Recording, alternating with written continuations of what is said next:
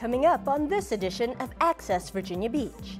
Police, fire, and first responders train for the worst in an active shooter exercise We'll take you inside the action.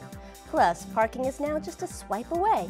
We'll show you a new way to feed the meters at the oceanfront. And the school board approves the city's first public charter school. That and more are coming up as we access Virginia Beach.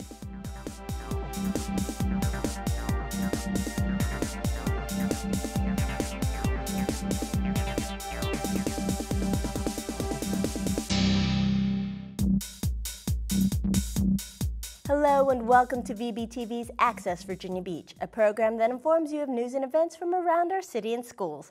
I'm Mickey Aceto. Thanks for joining us.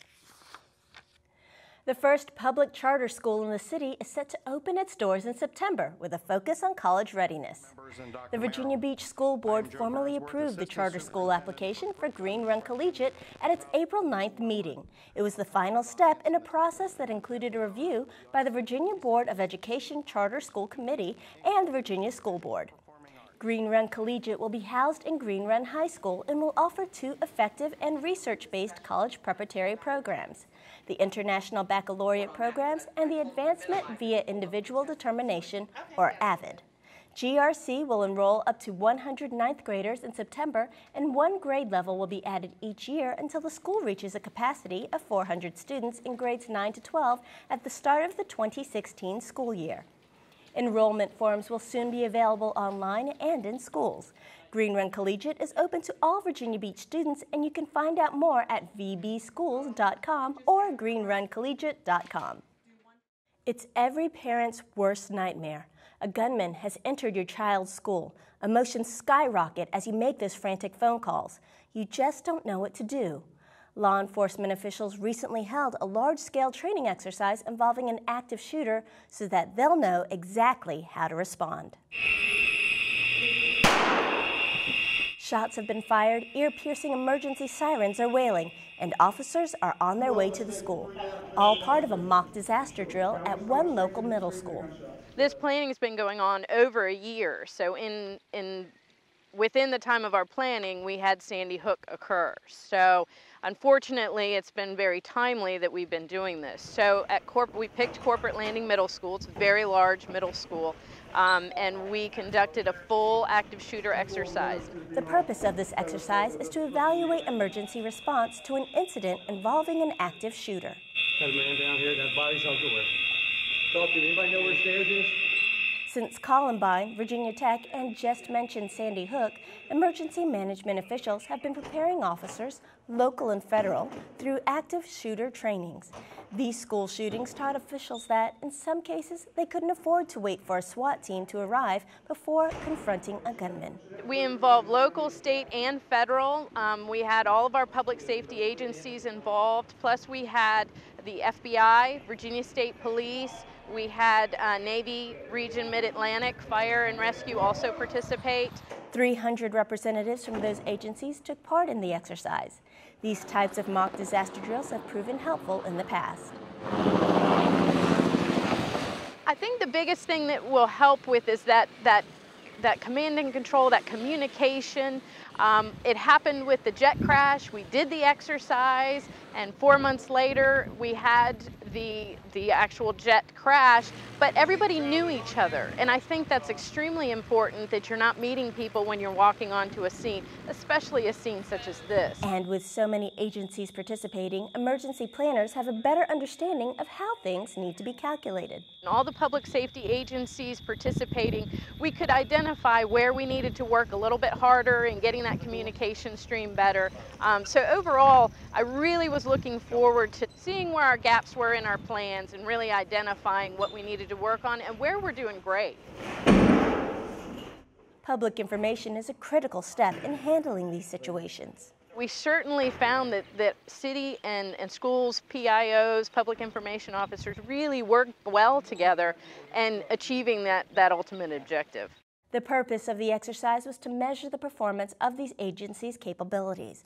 After the exercise, Police Chief Cervera said he was happy with the officers' reactions. They were quick to respond and did a good job adjusting. Of course, when emergencies arise, it's not only critical for rescuers to respond quickly, those in need have to know how to call for help. April is National 911 Education Month, and here are a few tips you can use when calling 911. Know where you are. Be prepared to give 911 operators your exact location. Stay calm and be ready to listen. 911 is there to help you until rescuers arrive. Follow their directions. Don't hang up. If you call and receive a message that they are assisting other callers, stay on the line. Finally, if you accidentally call 911, remain on the line to tell them. If you hang up, they will have to call back. This month long campaign is designed to help citizens understand the importance of 911 and their role when calling. For more info, log on to the website listed on your screen. No more scavenging around for spare change. Parking at the oceanfront just got easier. All city parking meters, lots, and garages now accept credit and ATM cards. Access reporter Jeff Barnaby shows us how to feed the meters step by step. The City of Virginia Beach has installed multi-space meters in several locations in the oceanfront area. These meters provide the option to use a credit card as well as coins. To use this model, once you've parked, check the space number. At the meter, wake up the meter by pressing any button. Press 1 to start the payment process. Enter the space number where you parked. Press the pound key. To pay with coins, deposit money in the slot provided. Press the green button to complete the transaction and take your receipt. Your receipt shows the expiration time. To pay with a credit card, press 1 to start the payment process. Enter the space number where you parked and press the pound key. Slide your card into the machine. Add or delete time by pressing the blue buttons. Press the green button to complete the transaction and take your receipt.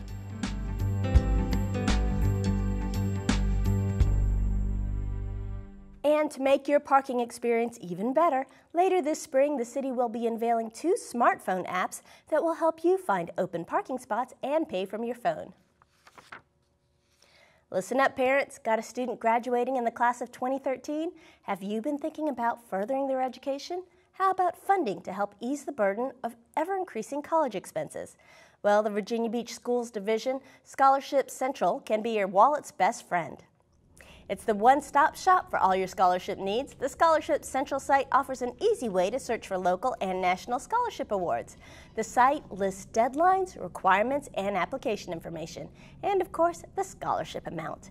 Virginia Beach graduates from the class of 2012 accepted more than $32 million in scholarships. Now it's your turn to take a piece of the pie. Log on to vbschools.com to search for savings.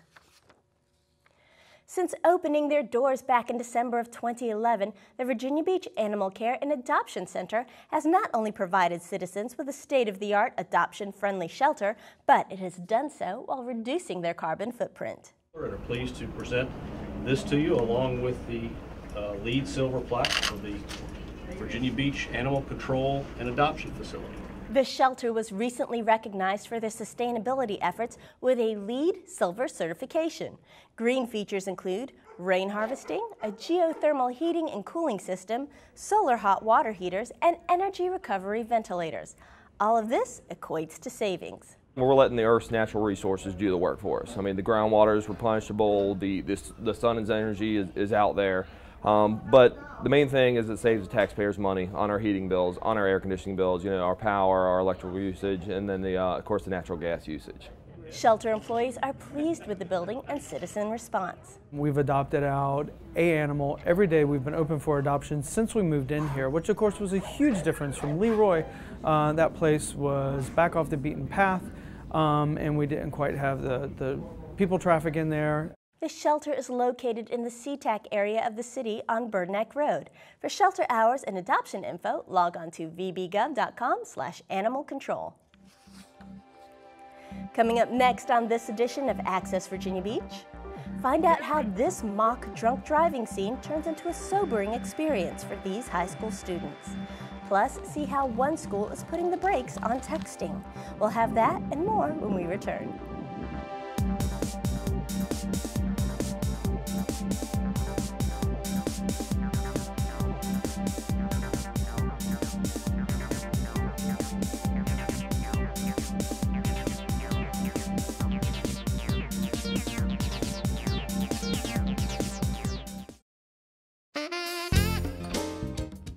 Beach Schools Parent Connection is your one stop resource for information and events which support families and promote student success.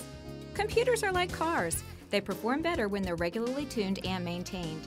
Join the Parent Connection Technology Academy at the ATC Theater for PC maintenance Wednesday, April 24th from 7 to 9 p.m. to learn some simple things that you can do on a regular basis to keep your system running and in good shape. This hands on class will take you through the process step by step and show you some great free and safe programs to assist you in your maintenance. The class is free, but registration is required by calling 263 1936. Parents of children identified as gifted do you worry that your child isn't performing to his or her potential? Well, you aren't alone. Learn how to identify distractions to accomplishment and strategies to motivate and support your child. Join Parent Connection for a gifted information night Wednesday, May 1st from 6:30 to 8 o'clock p.m. at Virginia Beach Middle School. Bring your laptop or tablet to access an online tool and other resources. Parents, we all know the importance of raising children in a warm and caring home where they can thrive and become respectful and cooperative. Join CHKD for the Nurturing Parenting Series beginning May 1st, 6:30 to 8 p.m. at the CHKD Brick House Auditorium in Norfolk. Learn how to understand your parenting roles, behavior encouragement techniques, and learn how to recognize and meet your own needs. This six-week series of classes sponsored by the Coles Cares Family Forum is free, but you must register separately for each class. Register online at the address on your screen or call 668 7402 for more information. To learn more about these activities or to see a complete calendar of events, visit the Parent Connection page of vbschools.com.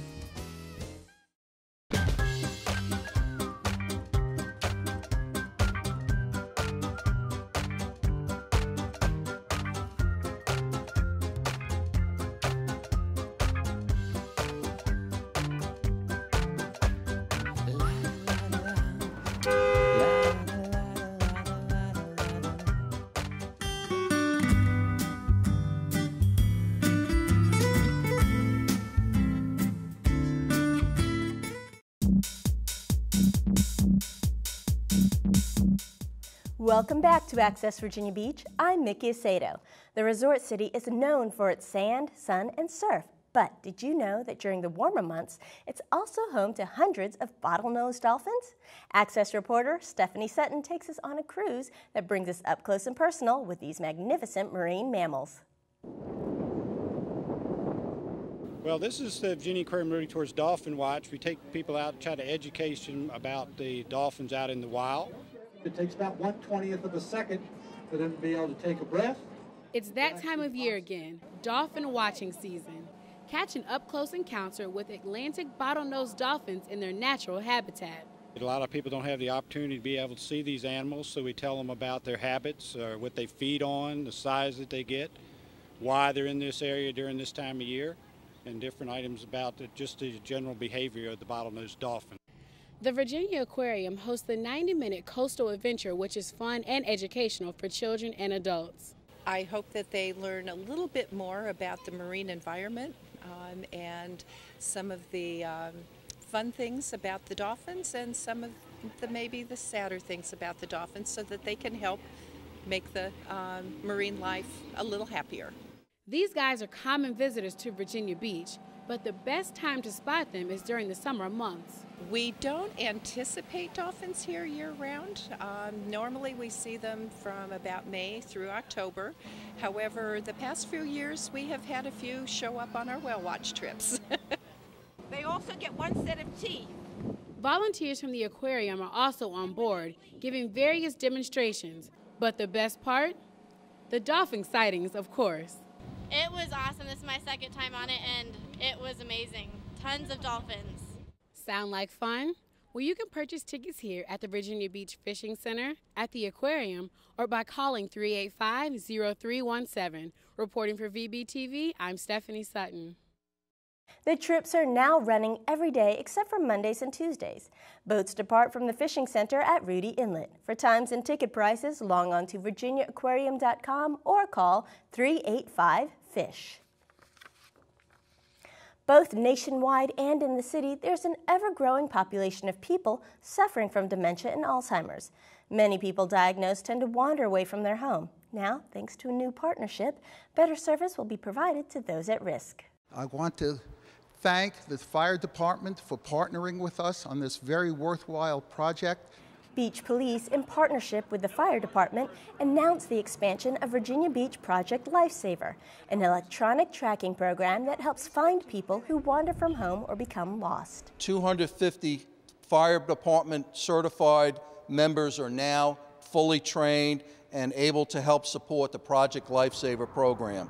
In addition, six of the city's fire stations are now service points for the program. Now residents can come to their local fire station, and if they're having trouble with their equipment, they can take advantage of this service and visit their local fire station. They will be able to have their battery changed, um, service the equipment, or answer any questions that the uh, client may have. Future plans for the program include adding six more fire stations later this year, allowing even greater service for citizens. We're in the life-saving business, and any way we can help contribute to the program, we felt like it's important. And in our our job is to help support the police department in those searches, staffing, keeping the equipment up. For more information on Project Lifesaver, call 385-2742 or log on to vbgov.com. Do you worry that your child isn't performing to his or her potential? Are you frustrated by your child's lack of effort in their classes? Well, the Office of Gifted Education and Curriculum Development is conducting a motivation workshop Wednesday, May 1st from 6:30 to 8 p.m. As part of the 90 minute session, parents will be introduced to an online site designed to help them understand, influence, and motivate bright and gifted children. In addition, workshop presenters will remain after the session to answer questions about the online tool. The motivation workshop will be held at Virginia Beach Middle School. For more information, contact the Office of Gifted Education at 263 1405. Those participating are encouraged to bring your own devices so you can navigate the site during the session. Every 15 minutes, someone dies because of an alcohol-related collision. Those numbers are scary to think about, but true. In fact, hundreds of teenagers are killed each year in drunk driving accidents. Brooke! Brooke!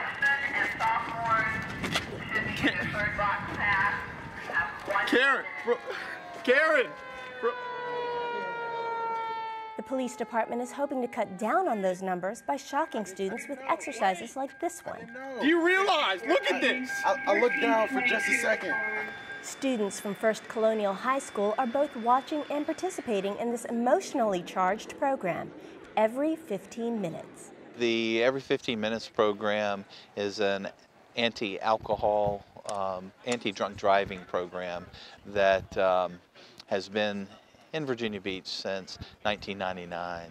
By staging a mock drunk driving crash that involves gruesome injuries, rescue attempts, sobriety testing, and even a funeral hearse, officials hope to make a sobering impression on those junior and senior high school students. This experience is so realistic that even though it's a role-playing um, simulation, it really gives everyone the true feelings and emotions behind something tragic like this. So it's important for us to really bring this into our schools and into the community. The crash may be staged, but the emotions are real.